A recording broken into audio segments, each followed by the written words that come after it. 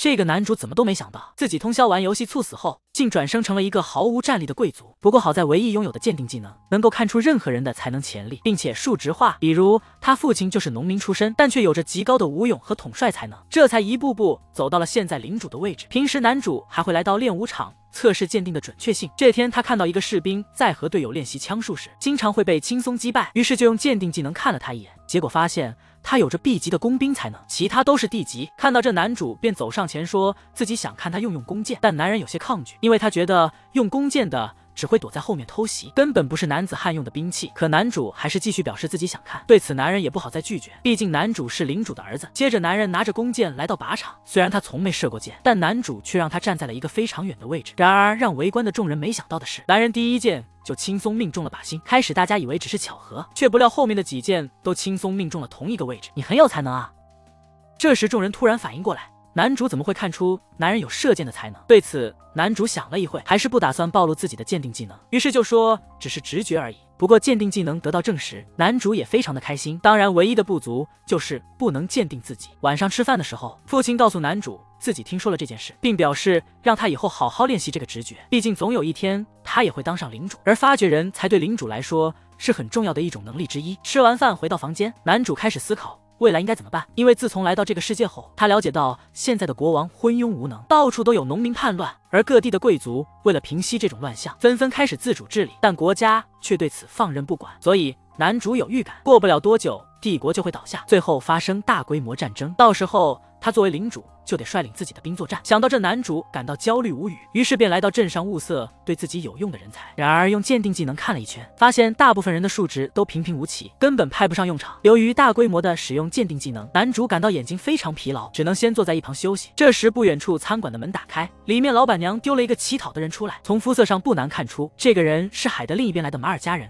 而这种人在世界各地都备受歧视，通常都是以奴隶身份被带过来的。不过男主是现代人，并没有这些歧视的看法，于是便拿了个面包过去，顺便用鉴定技能看了一眼，结果发现这人拥有多个 S 级和 A 级的才能，各个领域的数值都已经达到了顶尖水平，可以说是非常罕见的人才。男人吃过面包后，便站起身准备离开，男主见状也连忙紧随其后，来到一个巷子里，男主叫住男人，说想让他当自己的家臣，并露出衣服上的标志，表明了贵族身份，但男人却以为。男主是在玩小孩子过家家，所以并没有当真，就准备离开。见状，男主一时间也想不出办法留下他。不过还好，这时男人的肚子叫了一声：“我家包吃包住，还包分配对象。”回到家后，男主先是用美式款待了男人一番，然后便带着他来到父亲的书房中，表达了自己想让他留下来当家臣的想法。然而，男主父亲同样歧视马尔加人，所以也就没有同意。可男主不想失去这难得一遇的人才，就和父亲说，直觉告诉他，男人拥有极高的才华，果不信的话。可以通过测试来确认。听到男主说到这个份上了，父亲也只好答应下来。而具体测试内容就是模拟对战，如果男人能赢过自己的话，就把他留下来当小兵。男主没想到父亲居然会给出这么难的测试，要知道他的武勇数值可以说是这个国家最高的了，男人根本不可能是对手。不过好在父亲。看在男人才十四岁的份上，表示可以放点水。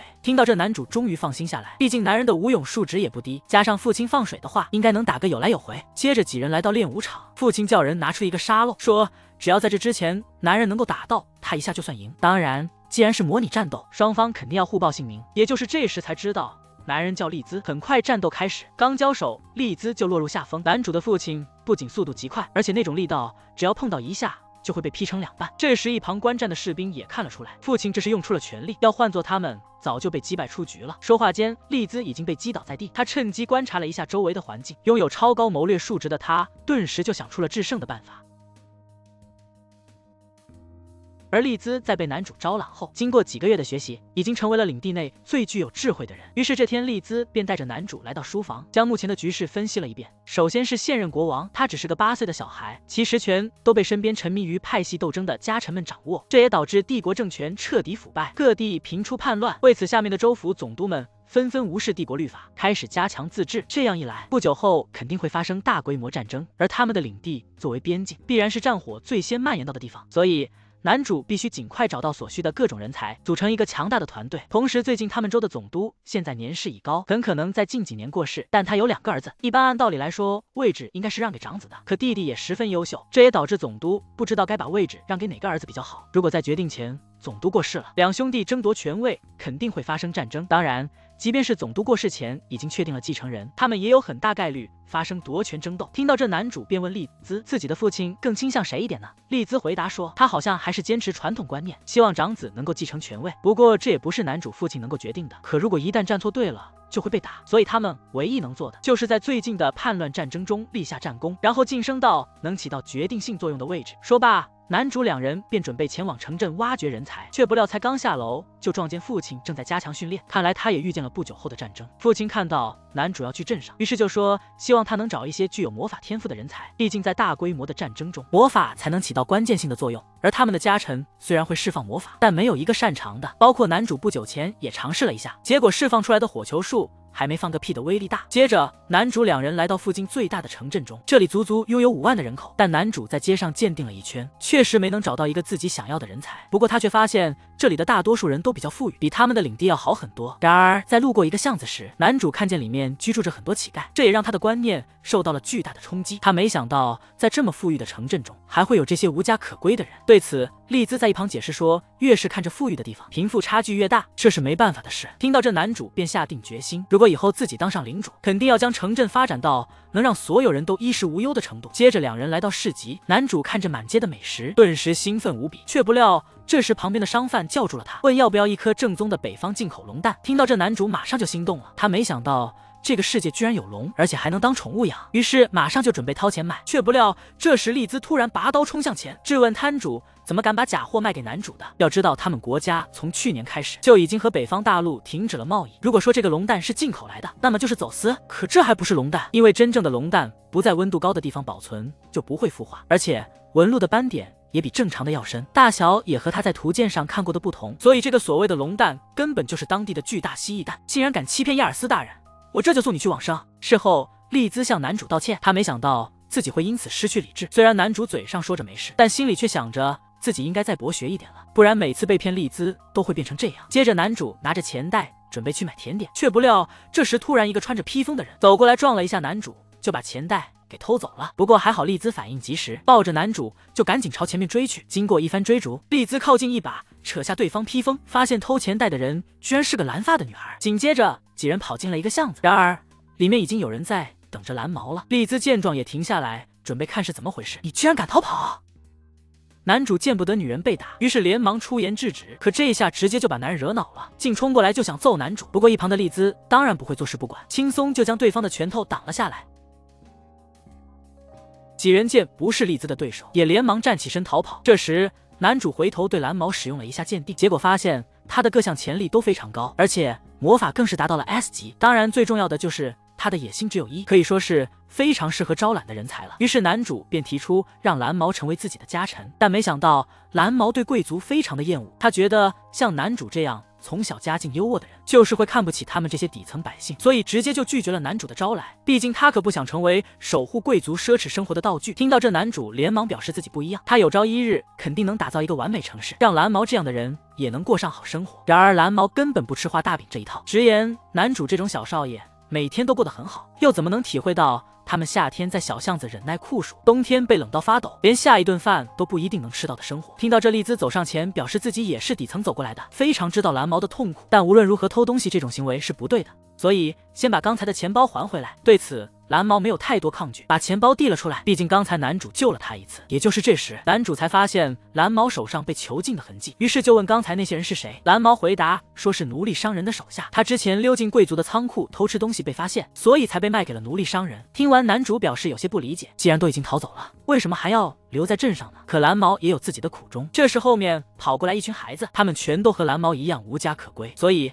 他没办法丢下这些孩子离开。看到这一幕，男主觉得蓝毛并不是想象中的那种无耻小偷，于是便把钱包又递给了他，就当是自己的一份心意。晚上回到旅馆，男主反思了一番，发现自己从小就生活在衣食无忧的环境，没有换位思考到蓝毛的想法，所以说的那些话才会让他生气。而同时，男主也体会到，想要让城市变为理想邦，好像没那么简单。却不料，也就是这时，他看到白天那群孩子正在呼喊蓝毛，见状，他连忙下去。问是怎么回事，于是连忙带着丽兹赶到地方救援。而奴隶商人的那些手下，在武力值超高的丽兹面前，根本就撑不过两招半。在解决完所有敌人后，男主向奴隶商人提出放了蓝毛的要求，但对方显然不愿意，并表示他既是奴隶也是商品。像男主这样的贵族，不是一直在偷偷买吗？听到这，男主刚想上前理论，却不料这是蓝毛，反倒质问起男主为什么要管他，他们之间的关系。明明是陌生人才对。对此，男主解释说，自从看到蓝毛第一眼起，他就感觉很奇怪，为什么一个小女孩的眼神会如此空洞？在思考了很久后，终于想到了答案。当时鉴定技能中显示的野心只有一。要知道。野心是对未来的期望，这就说明蓝毛完全没想过自己的未来。可守护孩子的未来原本应该是大人的责任才对，但蓝毛现在的人生却被奴隶商人主宰，根本决定不了自己以后想要成为什么人。所以，这也就是男主要救下他的理由。听到这，蓝毛也会想起自己这么多年，好像都只是在拼命的想办法活着，从来没有考虑过未来的人生。而现在终于有个人能理解他了，于是便感动的哭了起来。可奴隶商人并不想看两人的感情戏，直接就吹响口哨，叫来了房间里里的其他打手。见状，蓝毛。想让男主快逃，但有丽兹在这，即便是对方占人数优势，